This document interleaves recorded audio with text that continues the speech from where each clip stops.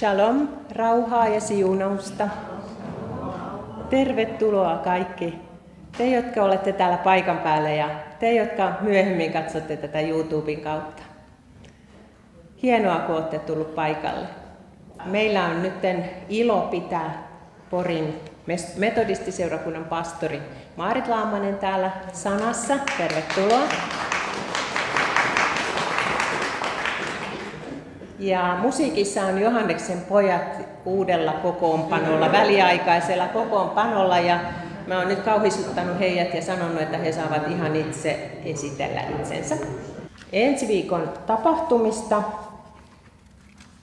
Tiistaina 13.9. on rukoustunti kello 12-13 ja rukousilta kello 18 silloin tiistaina.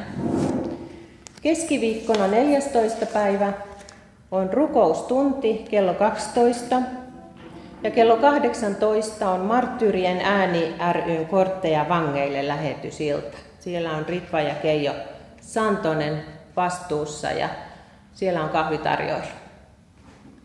Torstaina 15.9. on jälleen rukoustunti päivällä kello 12.13. Ja perjantaina rukoustunti kello 12.13. Kello 19 Kospel Kuppila kaupungin nuorisotilassa ja sunnuntaina, ensi sunnuntaina ennen päivätilaisuutta on rukoushetki kello 10 ja kello 11 päivätilaisuus ja siellä Annukka Suompää on puhumassa. Sitten sellainen ää, muutos ää, tulevaan ohjelmaan, että sunnuntaina 30. päivä 10. kello 11 on poikkeuksellisesti ehtoollisjuhla. Ja sen yhteydessä on myös kastejuhla. Et jos mietit kastelle menoa, niin ottakaa yhteys Tommi Suon päähän tai vanhemmistoveli. Ja jospa rukoillaan tähän tilaisuuden alkuun. Kiitos taivaallinen Isä, poikasi Jeesuksen Kristuksen nimessä. Kiitos tästä ihanasta päivästä, aurinkoisesta päivästä ja kiitos siitä, että ollaan saatu tulla tänne yhteen vapaasti kokoontuneena. Sä tiedät, Herra, mistä me tullaan, minkälaisista lähtökohdista ja olosuhteista. Kiitos, että sä tunnet meidän jokaisen ihan läpikotaisesti, Herra, sä oot meidät luonut. Kiitos, me pyydetään, että kohtaa, kohtaa jokaista juuri niin kuin jokaisen, jokainen tarvitsee. Ja kiitos me saadaan jättää kaikki murheet ja kysymykset ja ahdistukset pois täs, tässäkin hetkessä ja antaa ne Herra sinulle. Avaa meidän korvat kuulemaan ja iloitsemaan tästä yhdessäolosta. Isä Jeesuksen nimessä. Aamen. Ja nyt otetaan tämmöinen yhteislaulu 311, Käännä katseesi Jeesukseen. Ja sitä ennen Johanneksen pojat, että tytöt, tytöt saa esitellä kokoonpanonsa. Ja he kertoo sitten toisen laulun.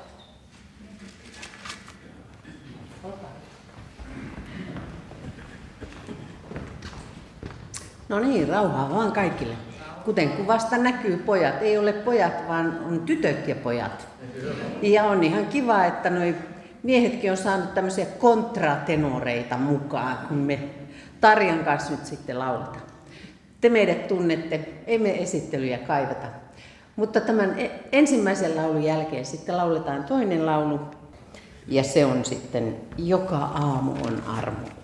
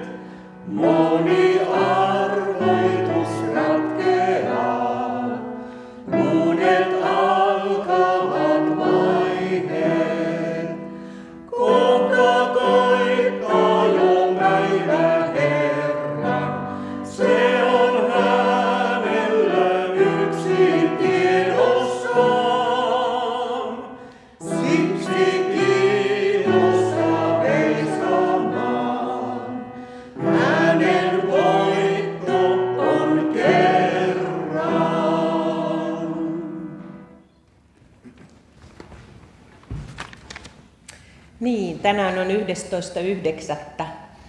Varmaan moni muistaa, mitä tapahtui vähän yli 20 vuotta sitten.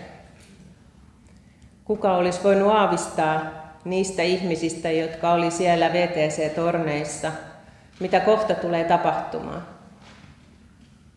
Miten he olisi voinut valmistautua siihen? Ei mitenkään.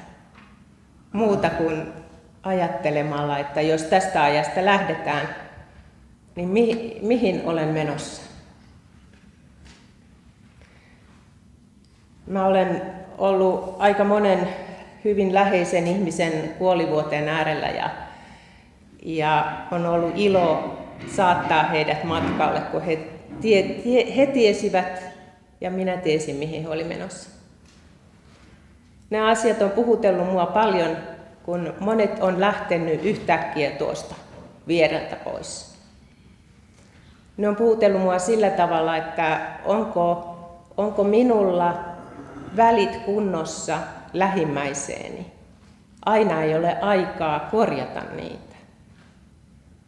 Mun mies äh, lähti sillä tavalla, että hän sanoi, että mulla on pää kipeä, mä menen ottaa aspiriinia. Ja hän tuli takaisin ja sanoi, että tila ambulanssi. Sen jälkeen me ei puhuttu enää. Niin tämä on pistänyt minutkin miettimään, että mulla saattaa olla, onko mulla epäselviä asioita jonkun naapurin kanssa tai ystävän kanssa, onko selvitettävää.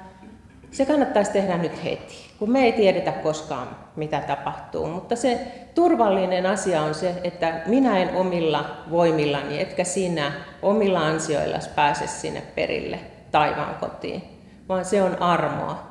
Jeesus Kristus on kuollut meidän syntien puolesta ja se on armoa, siinä se onkin. Se ihana sanoma, että meidän ei tarvitse itse yrittää niin paljon. Me ei millään omalla voimalla eikä ansioilla kelvata. Mä haluaisin lukea tähän psalmin 121. Luottamus Israelin suojelijaan. Matkalaulu. Minä nostan silmäni vuoria kohti. Mistä tulee minulle apu? Apu minulle tulee Herralta, joka on tehnyt taivaan ja maan. Hän ei salli sinun jalkasi horjua, sinun varjelijasi ei torku. Katso, hän, joka Israelia varjelee, ei torku eikä nuku.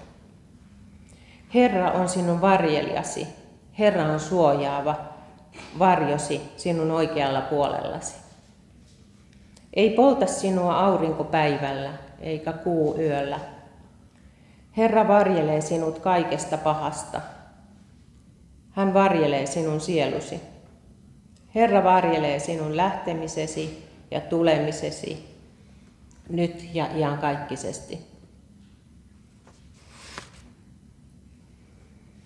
Tämä varjelusta vielä sen verran kerran, että tästä varjelusta tuli mieleen, kun olin eräällä Israelin matkalla ja tämä sanoin tälle oppaalle Ariel Lissonille, että kuule nyt mä pidän vapaa-päivän, mä oon täällä niin paljon ollut, että mä pidän nyt vapaa-päivän ja menen, mä ajattelin mennä tonne sillä tota, junalla sillä, tai sillä raitiovaunulla.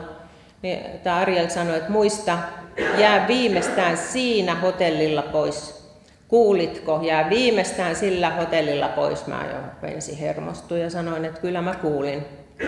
Ja mä menin, vietin oikein mukavan päivän ja jäin sillä pysäkillä pois, mitä tämä oli kehottanut tämä meidän matkanjohtaja. Ja sillä seurauksella, että illalla kuultiin uutisissa, että alkoi nämä ensimmäiset terroristiteot. Autolla ajettiin, jos mä olisin ollut siinä junassa ja olisin jäänyt seuraavalla pysäkillä pois, niin mun päälle olisi ajettu. Näin Herra meitä varjelee. Silti me ei tiedetä aikaamme.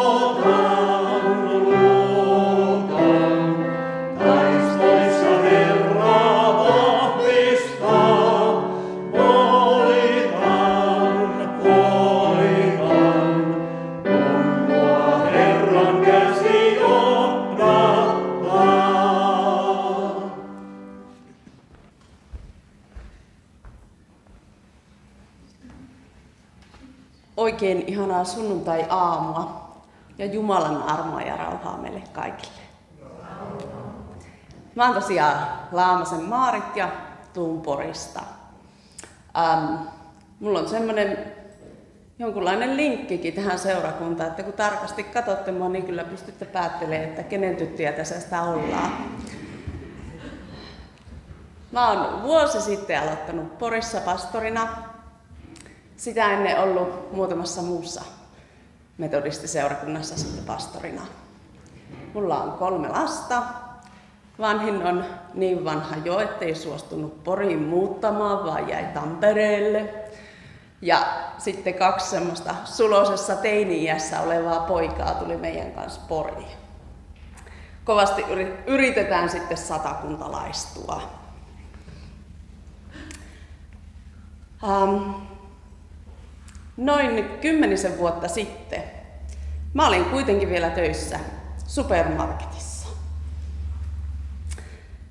Ihan siellä myyjänä. Ja tota, aika usein siellä kuuli semmoisen tutun kuulutuksen, jonka varmasti tekin olette kuulleet. Mutta te ette ole välttämättä rekisteröinyt sitä. Se kuulutus menee tähän tapaan. Kerttu neljä vuotta punainen takki, keltaiset kumpparit, vanhemmat odottavat infopisteillä. Kerttu neljä vuotta. Kuulosti varmaan jotenkin tutun oloiselta. Tämä tämmöinen kuulutus, se oli kuitenkin tietynlainen merkki mulle, kaikille meille myyjille, että mun piti keskeyttää se mun sen hetkinen työtehtävä ja ruveta etsimään sitä kadoksissa olevaa kerttua. Se oli semmoinen ylhäältä päin annettu ohjeistus, että silloin kun lapsi on kadoksissa, niin meidän työntekijöiden tulee lähteä etsimään. No, usein nämä lapset, jotka oli kadoksissa, niin he ei edes tienneet sitä, että he on kadoksissa. He ei kuulleet tuota kuulutusta, ja sitten jos ne oli oikein pieniä lapsia, niin ei ne edes ymmärtänyt sitä kuulutusta.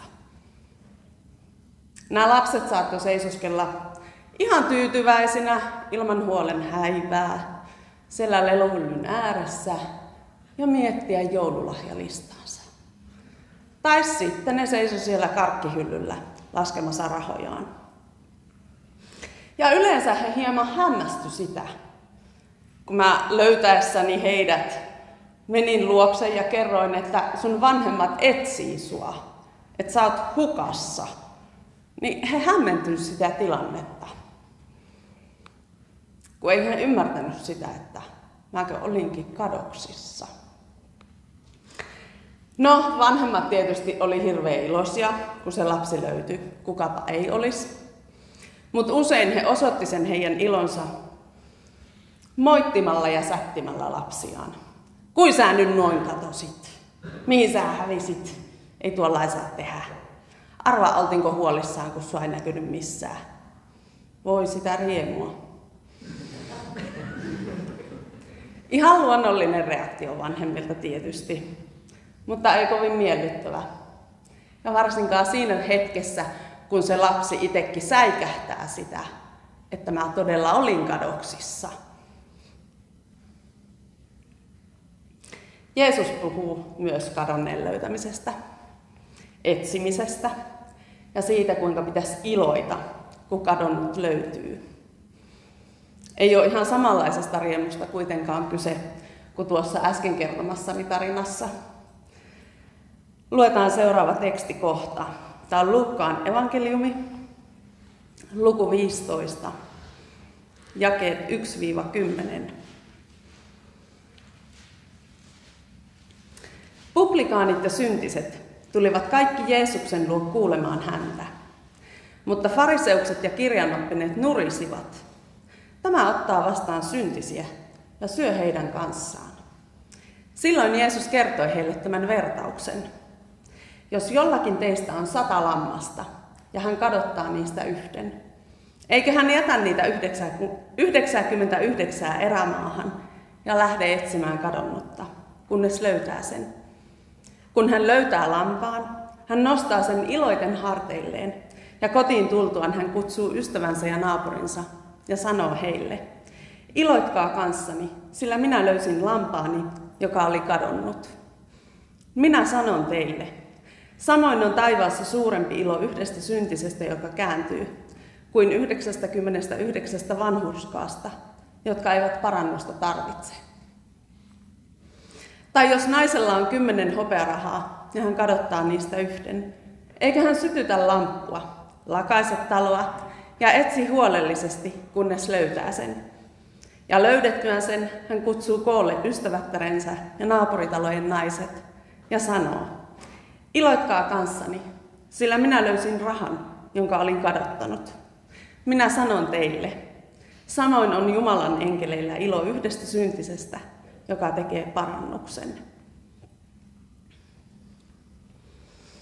Aika usein, kun me luetaan raamatusta tällaisia kohtia, joissa Jeesus kertoo vertauksen, me otetaan onkeen siitä vertauksesta. Nehän on tarkoitettu meille opetukseksi, niin tässäkin. Mutta on hyvä myös tarkastella sitä asiayhteyttä ja tilannetta, jossa Jeesus itse oli kertoessaan vertauksia. Hän ei vaan sattumanvaraisesti vetässyt vertauksia hihastaan ja opettanut summamutikassa jotain, vaan vertaukset on aina vahvasti sidoksissa Jeesuksen omaan sen hetkiseen tilanteeseen. Niin tässäkin. Tekstissä kerrotaan, että fariseukset ja kirjan oppineet paheksuivat Jeesusta ja hänen käyttäytymistään oikein nurisivat. Fariseusta ja kirjanoppineiden mukaan Jeesus vietti aikaansa väärässä seurassa, väärien ihmisten kanssa. Jeesus oli publikaanien ja syntisten kanssa ja jopa ruokaili heidän kanssaan. Ai ai, puhtaussäädökset kärsi ja pahasti kärsikin. Ei ollut kyse siitä, että Jeesus olisi jotenkin vahingossa ajautunut syntisten pöytään, väärään seuraan. Tai siitä, että Jeesus ei olisi tiennyt, millaisessa seurassa hän vietti aikansa ja millaisia ihmisiä kohtasi. Hän hakeutui syntisten seuraan tarkoituksella. Hän etsi syntisten seuraa. Vertauksessa kadonneesta lampaasta paimen jättää ne 99 muuta lammasta etsiäkseen kadonneen. Kukaan järkevä paimen ei tekisi niin, sillä mitä vaan voi tapahtua niille 99 muulle jätetylle lampaalle. Miksi riskeerata ne muut sen yhden lampaan takia? Ne muut lampaat, ne oli turvassa, ne oli tallessa. Lähtemällä etsimään kadonnutta, paimen riskeeraa myös oman työpaikkansa ja oman maineensa. Hän pitää kadonneen etsimistä ja löytymistä tärkeämpänä kuin näitä edellä mainittuja asioita. Entäpä hopearahan kadottanut nainen? Hän on valmis käyttämään suhteettoman paljon aikaa yhden hopearahan etsimiseen. Jopa sytyttää lampunsa hopearahan tähden. Hän siirtää siivouspäivänsä kyseiseen hetkeen ja toimii aktiivisesti ja välittömästi, jotta tuo kyseinen kolikko löytyisi. Hopearahan etsiminen, se vei hurjasti tuon naisen resursseja. Ja löytymisen jälkeen hän järjesti vieläpä juhlat.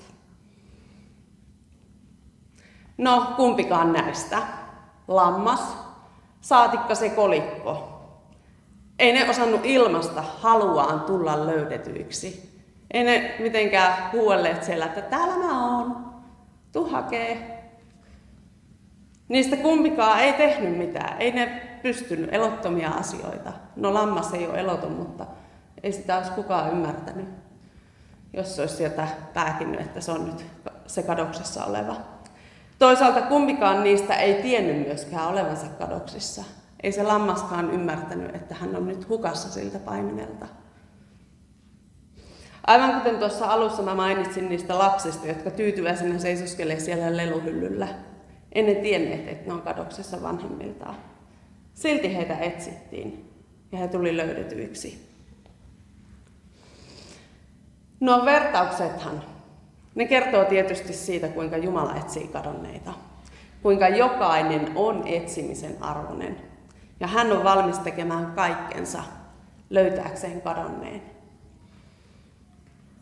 Mutta voimme pohtia tätä omalle kohdalle myös.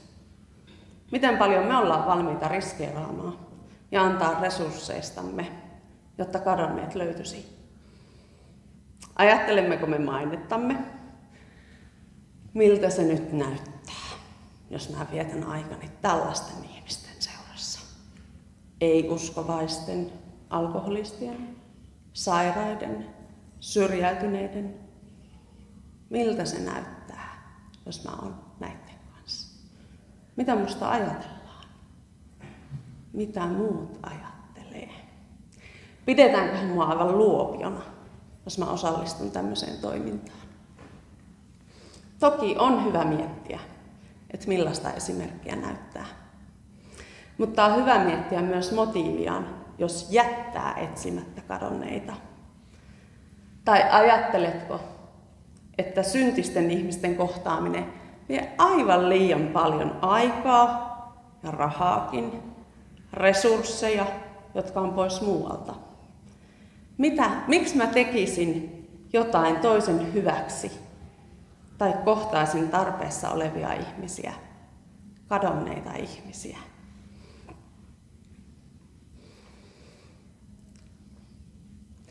Mä jäin pohtiin noita kahta sanaa etsiä ja löytää. Niissä on hieman eri sävy, eikö totta?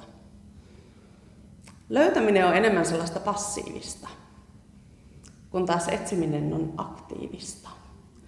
Löytäessä on tietyllä tapaa ihan sama, mitä eteen tulee. Se on satunnaista haravointia.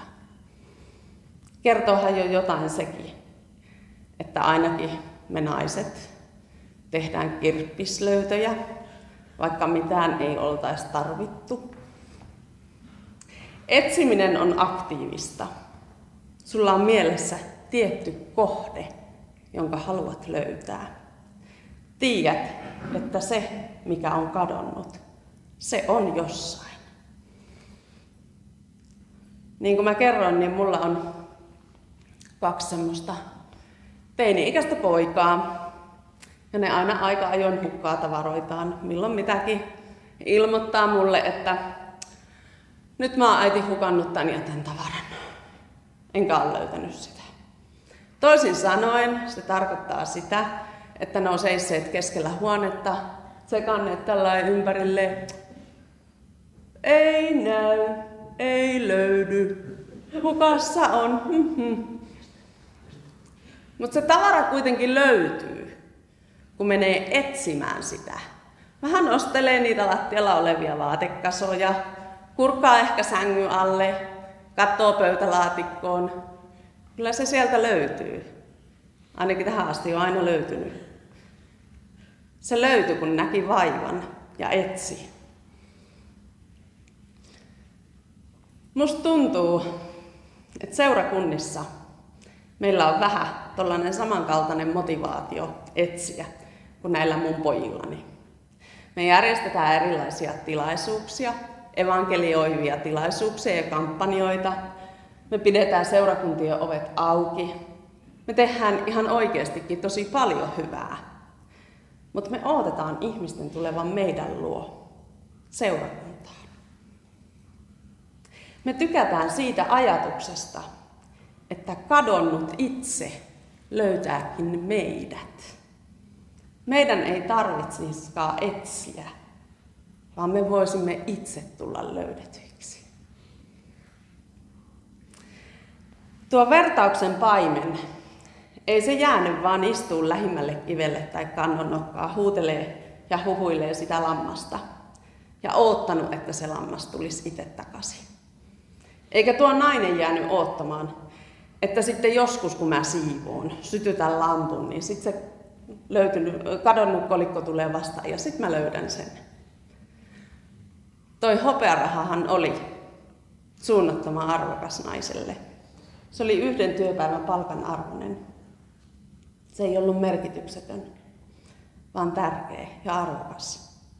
Aivan kuten se lammas oli arvokas paimenelle. Ja aivan kuten jokainen ihminen on arvokas Jumalalle. Ja juuri siksi, että kadonneella oli arvoa heille, paimen ja nainen toimi itse aktiivisesti ja etsi.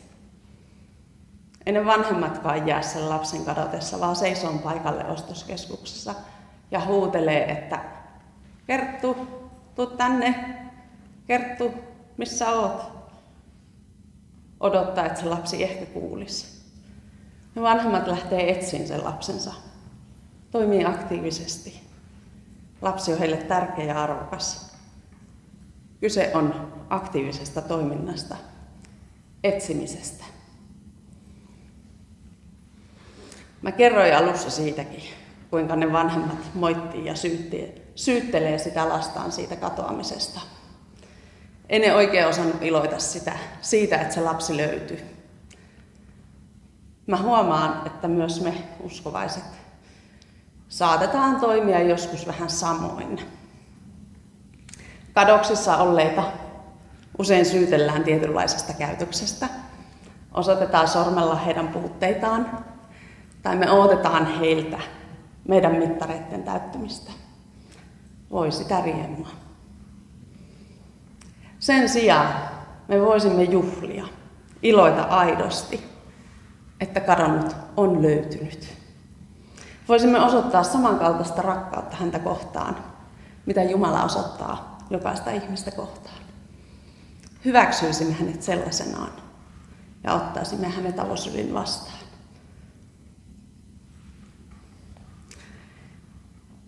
Palataanpa vielä lopuksi tuohon raamatun tekstin asiayhteyteen. Jeesus viettää aikaansa syntisten seurassa ja fariseukset paheksuu Jeesusta. Kertoissaan vertaukset, joissa aktiivisesti etsitään kadonnutta ja iloitaan hänen löytymisestään. Jeesus halusi osoittaa fariseuksille, että hän nimenomaan oli aivan oikeassa seurassa. Hän oli niiden seurassa, jotka oli hyljeksittyjä, halveksittuja, poispotkittuja, syntisiä. Hän oli etsimässä kadonneita. Niitä, joiden tarvitsi tulla löydetyiksi. Hän iloitsi jokaisesta, joka oli hänen seurassaan. Ollaanko me kuin Jeesus? Eli vietetään aikamme oikeassa seurassa, oikeiden ihmisten parissa. Vietämmekö me aikaa ja käytämme resursseja niiden seurassa, joiden pitäisi tulla löydetyiksi, niiden kanssa, jotka meidän tulisi etsiä. Tätä meidän kaikkien kannattaa varmaan jäädä vähän pohtimaankin. Amen. Rukoillaan.